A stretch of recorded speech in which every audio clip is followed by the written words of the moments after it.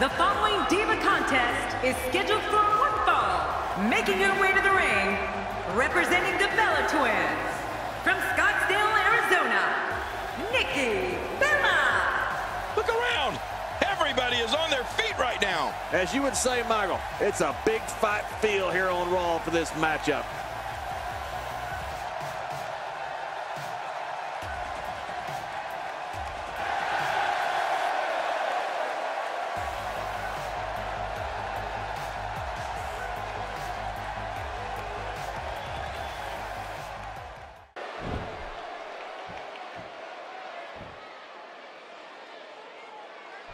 Give us your thoughts on Emma. If there's a diva that has several aspects to her personality, it's Nikki Bella.